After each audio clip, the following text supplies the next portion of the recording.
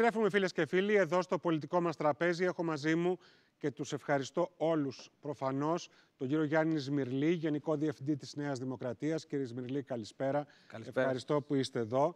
Τον κύριο Δημήτρη Μάντζο, κοινοβουλευτικό εκπρόσωπο, νέο κοινοβουλευτικό εκπρόσωπο και το Μεάρχη Εξωτερικών Καλησπέρα. του Πασόκ Κίνημα Αλλαγής. Καλησπέρα και χρόνια πολλά Ευχαριστώ πάρα πολύ. Και για Υγεία την όλους- γιορτή όλους σας. τους ερωτάζοντες. Και από λεπτό σε λεπτό έχει κολλήσει λίγο στην κίνηση, αλλά φτάνει από ό,τι μου λένε. Θα είναι ο βουλευτής του ΣΥΡΙΖΑ, ο κύριος Σιμεών και Δίκογλου, ε, εδώ στην συντροφιά μας. Θα ξεκινήσω όμως παρόλα αυτά και θα προσθεθεί ο κύριος Κεδίκογλου σε λίγο από τον κύριο Σμυρλή. Κύριε Σμυρλή, σήμερα ο Παύλος Μαρινάκης, ο κυβερνητικός εκπρόσωπος, για άλλη μια φορά διέψευσε κάτι το οποίο ε, το έχει διαψεύσει και στο παρελθόν, αλλά επανέρχεται στη δημόσια σφαίρα και επανέρχεται και από κυβερνητικά στελέχη, από τον κύριο Άδωνη Γεωργιάδη, ότι καλό θα ήταν να αλλάξει ο εκλογικός νόμος. Και το ρωτώ αυτό γιατί και η απόψινή δημοσκόπηση της ΜΑΡΚ για τον Αντένα ε, δείχνει ότι στην εκτίμηση ψήφου η Νέα Δημοκρατία πιάνει ένα 31%. Άλλες δημοσκοπήσεις σας φέρνουν αρκετά χαμηλότερα. Υπό την έννοια αυτή δεν υπάρχει αυτό που λένε προβολή αυτοδυναμίας, δεν είναι εγγυημένη σε καμία περίπτωση η αυτοδυναμία, το αντίθετο θα έλεγε κανείς, στις επόμενες εκλογές.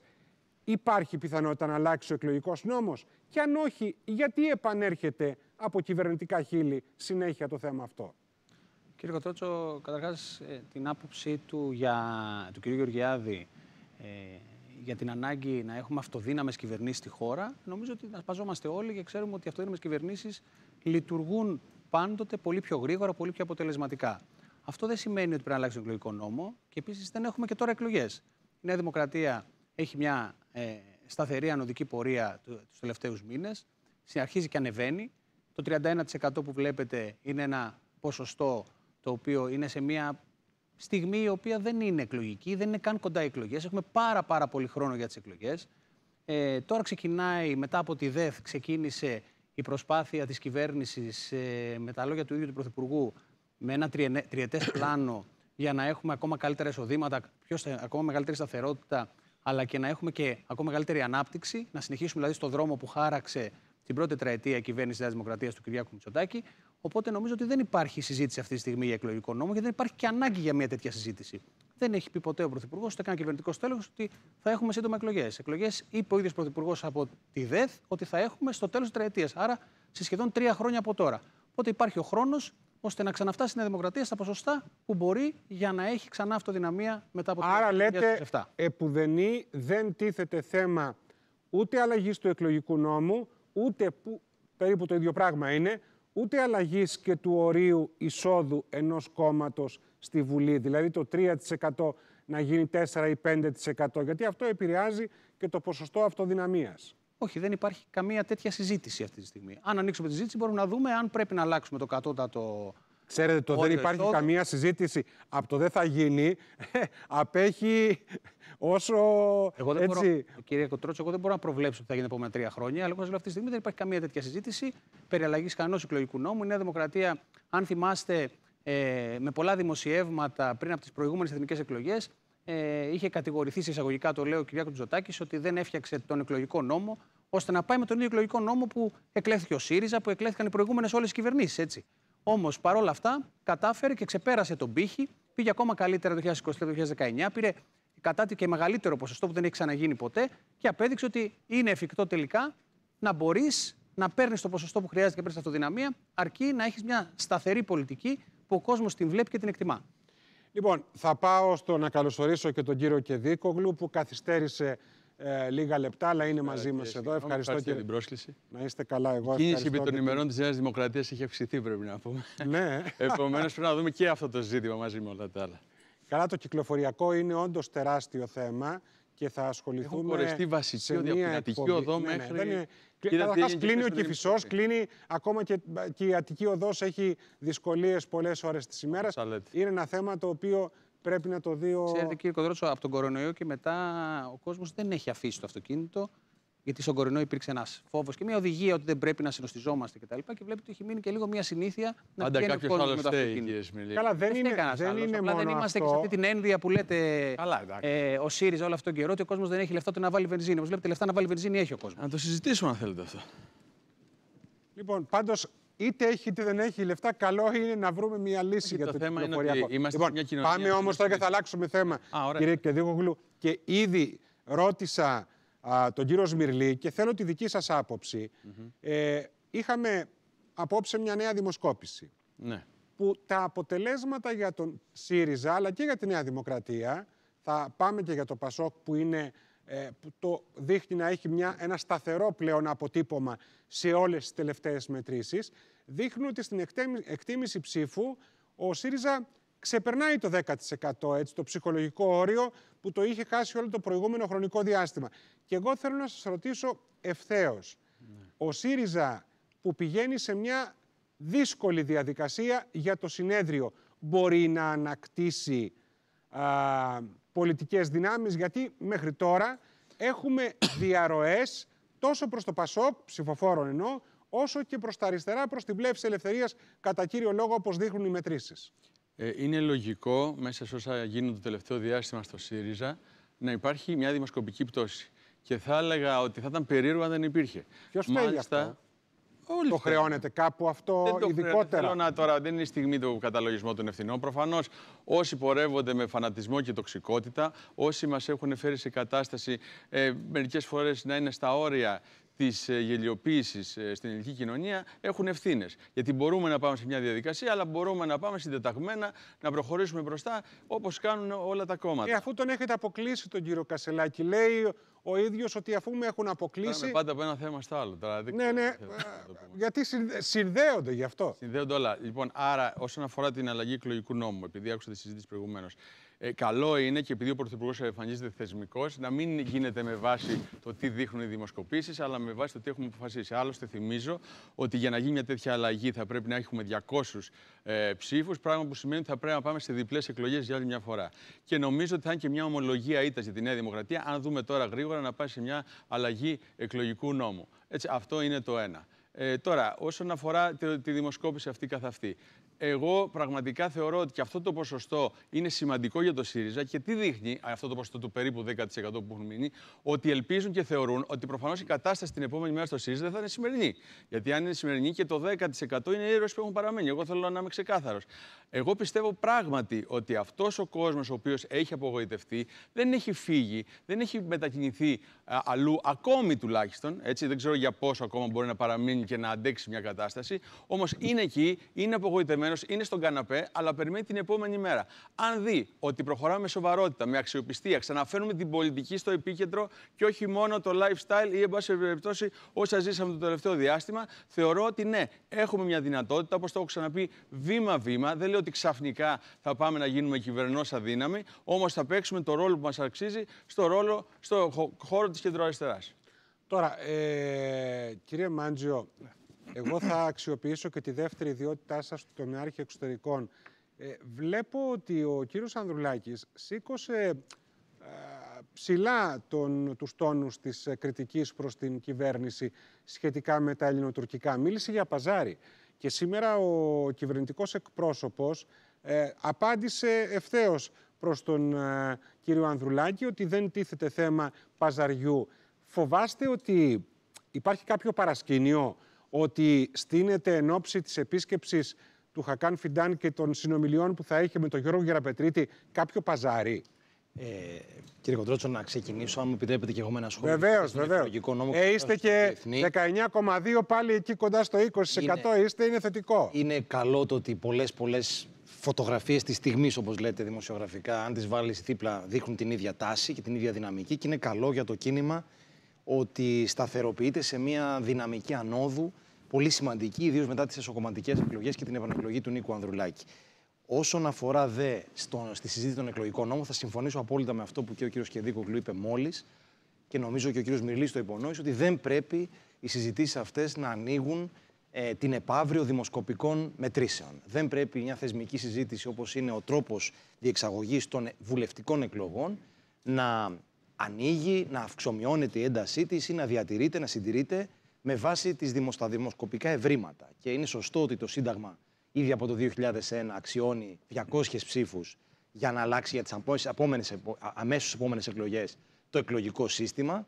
Είναι σοφή αυτή η πρόβλεψη και προλαμβάνει ακριβώς αυτά τα θεσμικά παιχνίδια. Και μιλώντας τώρα και για τις εκλογές, μιας και βλέπουμε τι γίνεται στην άλλη όχθη του Ατλαντικού και πόσο σημαντικό είναι να τηρούνται οι κανόνες του δημοκρατικού παιχνιδιού και ελπίζω να το δούμε εκεί να συμβαίνει αυτό και να μην ε, το δούμε να παραβιάζεται στις αμερικανικές εκλογές, τουλάχιστον σε εμάς, στην 50 ετών α, ακόλυτη δημοκρατική μας λειτουργία, αυτό πρέπει να το ε, διαφυλάξουμε. Και η κυβέρνηση πρώτη να διαφυλάξει ότι η συζήτηση για τον εκλογικό νόμο δεν θα ανοίξει επί τη βάση δημοσκοπικών ευρημάτων. Ούτε για τον τρόπο για τον πόνους, ούτε για τον τρόπο εισόδου των κομμάτων στη Βουλή.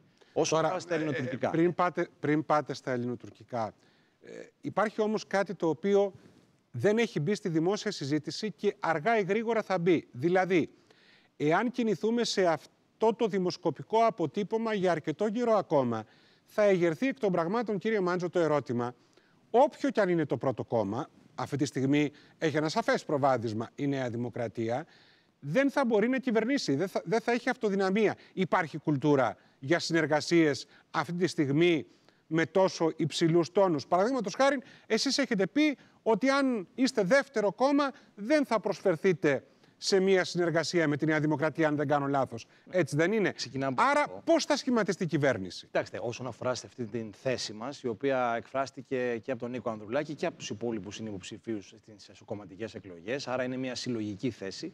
Δεν είναι μια θέση, αν θέλετε, αιμονική, φετιχιστική. Είναι μια θέση η οποία ερίδεται, στηρίζεται πάνω στις αξιακές και πολιτικές διαφορές που έχουμε με τη Νέα Δημοκρατία.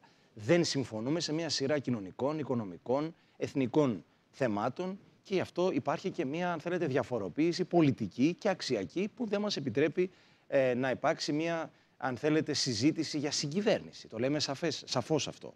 Αυτό όμως είναι ένα δεδομένο. Το άλλο δεδομένο είναι ότι κάθε εκλογικό σύστημα πρέπει να ισορροπεί ανάμεσα στην κυβερνησιμότητα και την αντιπροσωπευτικότητα. Δεν βλέπω προσωπικά, και νομίζω και ο χώρος μου, δεν βλέπω με καλό μάτι το να ανεβάζουμε το πλαφόν εισόδου κομμάτων στη Βουλή απλώς και μόνο για να υπάρχουν ισχυρές πλειοψηφίες που θα σχηματίσουν κυβερνήσεις χωρίς άλλου τύπου ε, συνεργασίες ή χωρίς άνευ άλλου Δηλαδή να υπάρχει αυτοδυναμία πάση θυσία. Αυτό είναι μια θέση η οποία είναι από την αρχή προβληματική. Δεν μπορείς δηλαδή να θυσιάζεις την αντιπροσωπευτικότητα ενός κοινοβουλευτικού συστήματος το οποίο έχει ήδη πληγωθεί στο επίπεδο της δημοκρατικής νομιμοποίηση, υπάρχει αυτό το, το κενό το δημοκρατικό, το έλλειμμα το δημοκρατικό, να έρχεσαι και να το, να το κάνεις ακόμα λιγότερο αντιπροσωπευτικό για να υπάρχει κυβερνησιμότητα. Για να κλείσω τα ελληνοτουρκικά πολύ σύντομα, να μην καταχραστώ το χρόνο. Ε, το παζάρι είναι ένας όρος τον οποίο πρώτα και, κύριοι, και πρώτα και κύρια χρησιμοποιούν οι ίδιοι οι Τούρκοι. Ε, υπάρχει μια... Είναι ειδική σε αυτό. Ακριβώς. Υπάρχει μια συναλλακτική διπλωματική σχολή, την οποία ακολουθεί η γείτον χώρα πολλές δεκαετίες τώρα. Εμείς δεν κάνουμε συναλλακτική διπλωματία, κάνουμε διπλωματία αρχών, διπλωματία αξιών. Και έτσι πρέπει να παραμείνουμε. Γι' αυτό το λόγο επισύ τον κίνδυνο ο Νίκος Ανδρουλάκης ως αρχηγός της Ελλάδα, ενός αντιπολίτευσης, αλλά ενός γνήσια πατριωτικού κόμματος όπως είναι το Πασόκ, ενός πατριωτισμού όμως ρεαλιστικού, όχι κατά φαντασία ή κατά παράδοση ε, πατριωτισμού, ενός ρεαλιστικού πατριωτισμού. Και τι λέει, το εξής απλό. Ναι, να συνεχίσουμε να συνομιλούμε, ναι στο διάλογο, αλλά προσοχή. Όχι με με την αφέλεια ενός υπεραισιόδοξου επισπεύδοντος. Να γνωρίζουμε ποιοι είμαστε, ποιοι κάθονται απέναντί μας, να έχουμε πλήρη επίγνωση των θέσεων της άλλης πλευράς, των συμπλεγμάτων, των αξιώσεων, τι περιμένει η Τουρκία από αυτό το διάλογο, αν υπάρχει καρότο και μαστίγιο, ποιο είναι το ευρωτουρκικό πλαίσιο, πώς συντρέχουν άλλα θέματα όπως η τουρκική προκλητικότητα στο Αιγαίο, το στάτους του, του, του, κυπριακού ζητήματος, ή, ε, το κάζους μπέλι, οι αξιώσεις που υπάρχουν από την Άγκυρα, και όλα αυτά η ελληνική διπλωματία να τα αξιολογήσει, να τα αναλύσει και η ελληνική κυβέρνηση να προσθέτει σε αυτό το διάλογο με ρεαλισμό και χωρίς ρηχή επικοινωνιακή διαχείριση. Τον κίνδυνο επισύει ο Νίκος Ανδρουλάκης και δεν νομίζω ότι χρειάζεται υπεραντίδραση από την πλευρά της κυβέρνησης. Θα ήθελα ένα σχόλιο πάντως κάποια στιγμή στα εθνικά, αν έχετε δικαίωμα. Βεβαίως, βεβαίως και θα το κάνετε μετά. Απλώς ε, θα κάνουμε και δεύτερο γύρο. Απλώς να το ε, πάμε λίγο πιο γρήγορα για να μπορέσετε να μιλήσετε όλοι με επάρκεια. Κύριε Σμυρλή, αυτό που λέει τώρα ο κύριος Μάντζος για τα ελληνοτουρκικά είναι κάτι, δηλαδή ο όρος παζάρι ε, είναι ένας όρος προφανώς που ανήκει στην, στην τουρκική πλευρά, Αλλά έχετε κι εσείς ε, τον πρώην Πρωθυπουργό εν προκειμένου, τον Αντώνη Σαμαρά, ο οποίος έχει σηκώσει πολύ ψηλά τους τόνους. Σας θυμίζω ότι από τη Λευκοσία μίλησε για κίνδυνο υποχωρητικότητας, μίλησε για, φουρτου... για ήρεμα νερά τα οποία θα φέρουν φουρτούνες, μίλησε ακόμα και για υποκλήσεις. Ε, κάτι το οποίο, εντάξει, η απάντηση είναι ότι είναι γνωστές και πάγει στη θέση του κυρίου Σαμαρά. Δεν είναι έτσι όμως, υπό την έννοια ότι είναι ένας πρώην πρωθυπουργός και βάζει αυτά τα ζητήματα. Τι θα κάνουμε εάν έρθει ο Φιντάν και βάλει αποστρατικοποίηση, βάλει γκριζέ ζώνες, βάλει τουρκική μειονότητα όπως την αποκαλούν στη Θράκη, βάλει όλα αυτά τα ζητήματα τα οποία ήδη έχει βάλει η τουρκική πλευρά το προηγούμενο χρονικό διάστημα. Εκεί τι θα κάνουμε, θα σηκωθούμε από το τραπέζι ο κύριος Γεραπετρίτης και θα πει ευχαριστούμε πάρα πολύ. Γεια σας. Τους άλλους κύριε Κοτρότσο, η Νέα Δημοκρατία 50 χρόνια τώρα έχει μια σταθερή άποψη στα εθνικά θέματα και μια σταθερή αντιμετώπιση ε, της Τουρκίας. Εγώ θα πω ότι είναι εθνική θέση, κύριε Σμυρλή, αυτό. Εθνική θέση. Η κόκκινη γραμμή, δηλαδή Ωραία. μόνο ΑΟΣ και υφαλοκρηπίδα, δεν είναι θέση μόνο της Νέας Δημοκρατίας. Πολύ σωστά. Είναι εθνική θέση. Όμως Ελπίζω ότι είναι ξεκινάμε ολονών έναν και διάλογο, ολονών. ο οποίος είναι αναβαθμισμένος, είναι πολιτικός διάλογος, στο ανώτερο επίπεδο.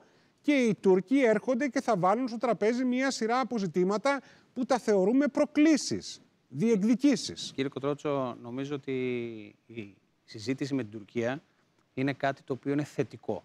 Πρέπει να έχουμε ανοιχτούς διάβλους επικοινωνίας. Είναι γείτονές μας, η γεωγραφία μας έχει καταδικάσει να είμαστε για πάντα γείτονες και οφείλουμε να συζητούμε. Το ότι συζητούμε δεν μπορώ να καταλάβω γιατί παρεξηγείται από οποιονδήποτε το σχολιάζει. Ο κύριος Σαμαράς το ότι- παρεξηγεί. Ο κύριος Σαμαράς Σας θυμίζω σας ότι έχω έχει πει ότι με τον πειρατή το δεν έχουμε- μιλάς. Το έχουμε δηλώσει ε, πολλές φορές από τον κυβερνητικό εκπρόσωπο ότι δεν σχολιάζουμε τις απόψεις του κ. Σαμαρά που είναι γνωστές. Είναι, βλέπετε όμως ότι παράγει πολιτικό, γιατί πολιτικό είπε ο κύριος αντίκτυπο Μάντος αυτό. όμως, Ότι έχει μια ανησυχία ο κύριος Ανδρουλάκης γι' αυτό.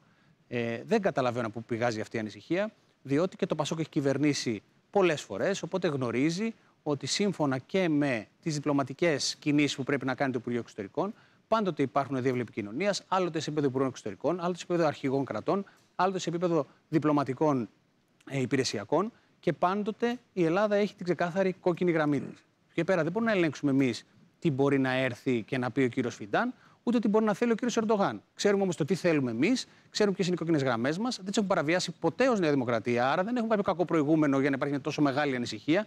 Και σίγουρα νομίζω ότι πρέπει να υπάρχει ψυχραιμία και από όλες τις πλευρές, διότι είναι μια έμπειρη κυβέρνηση με έναν έμπειρο πρωθυπουργό, με ένα πολύ έμπειρο κόμμα που έχει κυβερνήσει πάρα πολλές φορές, που έχει κάτσει στο τραπέζι με τον, κύριο, με τον πρόεδρο της Τουρκίας ε, και οι προηγούμενοι πρωθυπουργοί της Νέας Δημοκρατίας στο παρελθόν και καθώς και από το Πασόκ πρωθυπουργοί και ξέρουν ότι πάντοτε θα πρέπει να συζητάμε και πάντοτε πρέπει να θέτουμε τις κόκκινες γραμμές μας. Από εκεί και πέρα, εάν δεν συζητάμε, σίγουρα δεν μπορούμε να πάμε πουθενά και σίγουρα δεν μπορούμε να έχουμε και καμία ελπίδα ηρεμίας. Ξέρετε, η ηρεμία για μια χώρα η οποία θέλει να έχει ανάπτυξη, θέλει να έχει σταθερότητα, θέλει να έχει επενδύσεις, θέλει να παίζει ένα σημαντικό ρόλο στην περιοχή, η ηρεμία είναι πολύ σημαντική. Εάν δεν την έχουμε την ηρεμία, τότε έχουμε χάσει γιατί δεν συζητάμε. Άρα το να συζητάμε δεν μπορούμε να το καταδικάζουμε.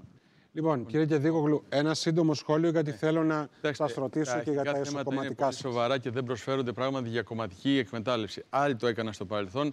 Θυμίζω την περίοδο του Πρεσπών με τα συλλαλητήρια για το μακεδονικό και ούτω καθεξής. Υπάρχουν όμως κάποια γεγονότα για τα οποία υπάρχει μια ανησυχία διάχυτη. Θυμίζω τις ε, δηλώσεις Φιντάν τι επίσημε ότι είναι όλα στο τραπέζι, πράγμα το οποίο αναμεταδόθηκε και από το Ανατολού που ξέρετε ότι είναι. Και ο Ερντογάν το για, επίσημο ζητήμα- για πρακτορείο. ζητήματα στο Αιγαίο. Ο έχει Ερντογάν στην επιστροφή του από Σερβία μέσα στο- στο αεροπλάνο στους δημοσιογράφου είπε επίσης το ίδιο. Και επίσης σε δηλώσεις του που είναι για το εθνικό του όρκο, είπε ότι η, η Τουρκία έχει αξιώσεις έναντι τρίτων χωρών όπως η Ελλάδα, η Βουλγαρία και άλλη μία. Πράγμα να το κάνω μια οποίο ερώτηση πάνω σε είναι αυτό. απέναντι, αν θέλετε, στη Συμφωνία των Αθηνών. Σας θυμίζω δε, σε αυτό το σκηνικό τις δηλώσεις του κυρίου Γεροπετρίτη ότι ε, ε, ας με πούνε μειονοδότη, φτάνει να εξασφαλίσω, δεν ξέρω, κάποια με- μακροχρόνια ειρήνη, κάπως έτσι το είπε. Και βεβαίως τις δηλώσεις της Γενικής Διευθύντριας του Ηλιαμέπ, που ξέρουμε τι ρόλο παίζει στην εξωτερική πολιτική, που είπε ότι για τα χωρικά ύδατα, εν της πράγμαση, και μεταφέρω ακριβώς τις δηλώσεις της, θα είμαστε σε μια διαπραγμάτευση. Αν λοιπόν βάλετε όλο αυτό το παζλ, χωρίς να πω τις δηλώσεις του κύριου Πάντως Σαμαρά, θα μου επιτρέψετε είναι να λογικό πω τώρα έτσι, να υπάρχει μια δεν θέλω- ανησυχία. άλματα, Δεν θέλω να κύριε σας Κύπρο. διορθώσω, Ναι. αλλά στην ενημέρωση του κυρίου Γεραπετρίτη στους βουλευτές της Νέας Δημοκρατίας Ναι. ε, μου το έλεγε και ο κύριος Τηλιανίδης και ο κύριος Κακλαμάνης εδώ και ο κύριος Κερίδης, αλλά και από το ρεπορτάζ συνάγεται. Ε, ήταν πολύ σαφής. Γι' αυτό χρησιμοποίησα την έκφραση «θα φύγω από το τραπέζι». Ωραία, αυτό είναι είπε κάτι είπε καλό. στους βουλευτές ότι αν ο Φιντάν έρθει και βάλει αυτά τα ζητήματα, εγώ θα φύγω από το τραπέζι. Το ερώτημα είναι εμείς τι βάζουμε κάθε φορά στα ζητήματα αυτά; Ούτε για τη θεολογική άλμα- σχολή της Χάλκης, αν με- μου επιτρέπετε, σας άκουσα. Δεν βάζουμε ε, θέματα άλλα. Γιατί όταν λέμε ότι γίνεται εδώ σε εισαγωγικά ένα παζάρι, κάποιοι πρέπει να ζητάμε εμείς, κάτι πρέπει να ζητάνε αυτοί και να μην είναι μονομερής αυτή η εκδήλωση. Και μια και είπατε για τον κύριο Γεραπετρίτη, ο ίδιος πράγματι ε, σχολίασε αρνητικά την απόφαση του Υπουργείου Περιβάλλοντος να μην έχουν τουριστική ή άλλη οικονομική δραστηριότητα νησίδες και ε, μακρο, ε, μικρά νησιά, τα οποία αυτό σημαίνει ότι δεν έχεις και. ε, Ε, κυριαρχία, ήταν, έτσι, άφησε ήταν, εχμές ε, για, για δύο υπουργούς. Αυτό όμως έχει να κάνει με τη, συνολικά με την ε, λειτουργία Ωραία. τη κυβέρνησης. Δεν είναι ξεχωριστή η υπουργοί ο ένας από τον άλλο. Λοιπόν, προφανώς θα Επιτρέψτε μου να απαντήσει. πω. Ναι, ναι. Κρατώ απλώς δύο λεπτά στο τέλος για τον κύριο Κεδίκογλου, σας παρακαλώ, Εντάξει. για τα εσωκομματικά. Έχουμε και... Καταρχήν να πω ότι την εξωτερική πολιτική την ασκεί η κυβέρνηση κατά εντολή Πρωθυπουργού με το ΚΙΣΕΑ. Ούτε το ΕΛΙΑΜΕΠ ούτε κανένας άλλος ε, καθηγητής ο οποίος μπορεί να λέει την άποψή του. Ποτέ δεν κυβερνούσε το ΕΛΙΑΜΕΠ, ούτε τώρα θα κυβερνήσει κανένα ΕΛΙΑΜΕΠ. Όχι μόνο το ΕΛΙΑΜΕΠ, κανένα ε, κανένας τέτοιος ε, ε, συνομιλητής. Πρώτον. Δεύτερον, Χαίρομαι. τι μου λέτε, κύριε Κεδικογλου, ότι ο Ερντογάν δηλώνει ότι θέλει, μπορεί να θέλει περισσότερα. Ή ο Φιντάν, ο κ. Φιντάν έχει πει κάτι άλλο. Πείτε μου τα τελευταία 20 χρόνια που κυβερνάει ο κ. Ερντογάν, πότε είπε κάτι λιγότερο ο Ερντογάν; Έχει πει ποτέ ο Ερντογάν ότι ωραία, εμείς αφαιρούμε όλα Καλά, αυτά δεν που είχαμε φτάσει φανταζόμαστε. όμως σε αυτό το επίπεδο διαλόγου ποτέ. Μα Ακριβώς αυτό. είναι Εδώ και δυνατόν, πολλά είναι χρόνια, δυνατόν έτσι να δεν είναι; λέμε όμως ότι επειδή η άλλη πλευρά λέει σε δημοσιογράφους ότι μπορεί να ζητήσουμε περισσότερα ή μπορεί να θέλουμε κι άλλα, αυτό σημαίνει ότι η ελληνική πλευρά υποχωρεί σε κάτι επειδή πάει στο διάλογο; Μπορούμε να πάμε στο τραπέζι, ναι, και αν υπάρξει κάτι το οποίο Οφείλουμε διαφωνούμε, όμως εμείς να σαν σηκωθούμε από το τραπέζι και να αντιπολίτευση φύγουμε. να Είναι τα αναφέρει το δικαίωμα κάθε επισημαίνουμε χώρας, κύριε Κεδικού. και να έχουμε τις κυρίες μας ανοιχτές. Δεν κατηγορήσαμε για Άρα τα, προδοσία. ναι, όταν κάνετε άλμα όταν λέτε κανένα όμως άλμα. ότι Σας λέω τι τα απαντάτε γεγονότα. στον κύριο Ερντογάν. Θα Το απαντήσει περιβάλλον να ο περιγράφω. κύριος Κύριε Κεδίκουλου, θα απαντήσει ο κύριος Γέρα Πετρίτης όταν θα καθίσει στο τραπέζι τον κύριο Φιντάν, εάν υπάρξει οποιαδήποτε πρόκληση. Είναι ξεκάθαρο, το έχει ξεκαθαρίσει και ο ίδιος ο Πρωθυπουργός Μάλιστα. από τις Βρυξέλλες και το έχει ξεκαθαρίσει και πολλές φορές ο κύριος Γεραπετρίτη και το είπε και στους βουλευτές, όπως είπε ο κύριος Κοτρότσο. Άρα νομίζω ότι δεν υπάρχει λόγος να κινδυνολογούμε, Λοιπόν. αλλά υπάρχει λόγος να κρατάμε, όπως είπατε, τα εθνικά θέματα εκτός της πολιτικής σπέκουλας, ούτως ώστε να μπορέσουμε να προχωρήσουμε το διάλογο χωρίς να υπάρχει καμία έκπτωση σε καμία κόκκινη γραμμή της χώρας. Τελεία. Δύο πολύ γρήγορες ερωτήσεις. Έχουμε ε, δυόμιση-τρία λεπτά. Και να τα αποφύγω, κύριε Κώστα. Πρω- ε, να μην το αποφύγετε. Πρώτα στον κύριο Μάντζο. Είπε, κύριε Μάντζο, σήμερα ο κυβερνητικός εκπρόσωπος ότι αναμένουμε από τον κύριο Ανδρουλάκη το περίφημο ραντεβού αυτό. Ε, ημερομηνίες για να οριστεί το ραντεβού με τον Πρωθυπουργό. Θα γίνει αυτό το ραντεβού του κυρίου Ανδρουλάκη με τον Πρωθυπουργό όπως ε, είχαν ανταλλάξει στο τηλεφώνημα εκείνο το βράδυ της εκλογής. Ναι, νομίζω ότι έχει υπάρξει μια θεσμική επικοινωνία από το πρώτο βράδυ της εκλογής του κυρίου Ανδρουλάκη από πλευράς του κυρίου Πρωθυπουργού. Κατανοώ ότι απομένουν οι τυπικές τεχνικές λεπτομέρειες, διοικητικές λεπτομέρειες των δύο γραφείων, ώστε να υπάρξει αυτή η συνάντηση με συγκεκριμένη ατζέντα. Ίσως και τις επόμενες μέρες. Φαντάζομαι τις επόμενες ημέρες. Αλλά είναι κάτι το οποίο κινείται μεταξύ των δύο γραφείων, άρα νομίζω είναι κάτι. Όταν λέτε με συγκεκριμένη ατζέντα, Φαντάζομαι ότι ο κ. Πρωθυπουργός που. δεν θα είναι θυμοτυπική δηλαδή. Θεσμική. θεσμική Θα είναι από όσο θεσμική. καταλαβαίνω, ναι, είναι μια. ε, Έτσι, Άρα θα έτσι πάει ο τουλάχιστον κύριος Ανδρουλάκης ζητήθηκε. προετοιμασμένος να βάλει και κάποια θέματα; Καταλαβαίνω ότι θα είναι μια θεσμική συνάντηση μεταξύ δύο θεσμικών παραγόντων της πολιτείας μας και όχι μεταξύ δύο α- ανθρώπων σε ένα πλαίσιο Και κοινωνικό άλλωστε ή απλώς ο εθνικό. Πρωθυπουργός έδειξε ότι σας αντιμετωπίζει κοινοβουλευτικά ως ιονή αξιωματική αντιπολίτευση Ναι, πλέον. αν και ξέρετε πολλές Τρόπος φορές... που έγινε. επειδή πάντως έγινε ήταν ναι, θέλω να το πω άκουστος, αυτό. έτσι, Θέλω να δεν το πω είναι αυτό. σωστό. Θε- θέλω να Νομίζω το πω όλα τα αυτό. κόμματα της αντιπολίτευσης συμφωνούν σε αυτό. Ναι, θέλω να το πω αυτό. Επειδή Ανεξάρτητα, ξέρετε... συγγνώμη Δημήτρη, τώρα αν μου Ναι, παρακαλώ, επιτρέπεις, επειδή παρακαλώ. Είναι ένα θέμα αυτό. Ανεξάρτητα δηλαδή από το πώς βλέπει ο Πρωθυπουργός, θεσμικά είναι η δύναμη των κομμάτων. Τώρα, αν μεταβατικά είναι πρόεδρος αυτή τη στιγμή ο Νίκος ο Παπάς, δεν νομίζω ότι είναι λόγος αυτός να Ναι. λέει ότι αποχωρώ τη στιγμή που θα μιλάς εσύ, άρα δεν ακούει καν. Ας την τελειώσει ο κομματική κύριος αντιπολίτευση Μάντζος και θα το ξαναγυρίσω. τι- Νομίζω το είπε ο κ. Εσάς, Διαδίκουλου. κύριε Ήθελα να Δήμαρχε. πω... Όταν ήθε- σύντομα θα ή- βγάλετε ήθελα- πρόεδρο, οπότε θα μπορεί να συνομιλεί Δεν με τον είναι. πρόεδρο. Κοιτάξτε, Δεν είπε ναι, μόνο δε- αυτό. Είπε ότι δεν θέλω να συνομιλώ με έναν ε, πολιτικό ο οποίος δεν είναι πρόεδρος και έχει καταδικαστεί με τα Λοιπόν, κριτήρια μηδέν επειδή- πολιτικό δικαστήριο. Πολύ- Αυτό ήταν το σύνολο Σηκώνομαι, της δήλωσης. σηκώνομαι Καταλαβαίνω, κιόλας. καταλαβαίνω. Είναι νόμιμα. Επειδή δεν έχουμε χρόνο. Κύριε Μάντζο, το κρατώ. Κρατήστε άρα την τις απάντηση επόμενες τις επόμενες μέρες, μέρες τις θα επόμενες έχουμε- μέρες. Λοιπόν, Θα πάσα πιθανότητα την εσύ. θα φτάσετε στο συνέδριο πρώτη ερώτηση Ναι. και δεύτερον υπάρχει πιθανότητα να ανατραπεί στο συνέδριο όπως διατείνεται η πλευρά του κυρίου Κασελάκη η απόφαση Κεντρικής Επιτροπής. δύο Θα σύντομες είναι απαντήσεις. υποψήφιος ο κύριος Κασελάκης Νομίζω ή ότι όχι πάμε οριστικά; Κανονικά στο συνέδριο. Αύριο έχουμε πολιτική γραμματεία, αλλά όλα δείχνουν ότι πάμε κανονικά όπως το έχουμε πει μέχρι τώρα. Από εκεί και πέρα, αν θέλετε, νομίζω ότι ο ίδιος ο κύριος Κασελάκης με το να κάνει δηλώσεις του τύπου να δι- νοικιάσει γραφεία 1.500 τετραγωνικών μέτρων ή να κάνει ένα site. Σήμερα ξέρετε τι είπε; Νομίζω Είπε ότι σήμερα, αποφάσισε και πάει για κάτι άφησε άλλο. εχμές Ναι. ότι, μπο- ότι γίνονται τηλεφωνήματα σε μέλη α, του ΣΥΡΙΖΑ Ναι. και τους λένε ότι δεν έχουν εγγραφεί και να, ότι δεν μπορούν να πάνε να ψηφίσουν. Και Αν δεν στην έχουν εγγραφεί, ανάρτησή δεν το του είπε ξέρω αυτό. δημοκρατική επαγρύπνηση. Ναι, δημοκρατική επαγρύπνηση. Να σας πω κάτι. Θα σας πω τρεις δηλώσεις του κυρίου Κασελάκη. Την πρώτη δήλωση που έκανε ήταν ότι όταν κέρδισε, ότι κέρδισε σήμερα το φως. Θυμάμαι την άλλη δήλωση που έλεγε ότι ο σύζυγός του του είπε δεν μπορεί να κατανοήσει γιατί η Ελλάδα δεν θέλει τη βοήθειά του. Και η τρίτη πρόσφατη δήλωση ήταν ότι φανταστείτε τι τεράστια ήττα θα είναι για μένα να χάσω από κάποιον βουλευτή που ήταν υπό την ηγεμονία μου. Λοιπόν, ανθρώπους με τέτοια ίση, εγώ ποτέ δεν τους. τι να πω τώρα. Δεν θέλω να σχολιάσω από εκεί πέρα. Τα λένε όλα τα λόγια του. Λοιπόν, να ευχαριστήσω τον κύριο Γιάννης Σμυρλή, Γενικό Διευθυντή της Νέας Δημοκρατίας, τον κύριο Σιμών και Δίκογλου, τον ευχαριστώ. βουλευτή του ΣΥΡΙΖΑ και τον κοινοβουλευτικό Ευχαριστώ εκπρόσωπο πολύ. και τον μεάρχη εξωτερικών α, του ΠΑΣΟΚ, τον κύριο Μάντζιο, τον οποίον ε, με μεγάλη χαρά θα τον έχουμε και την επόμενη εβδομάδα.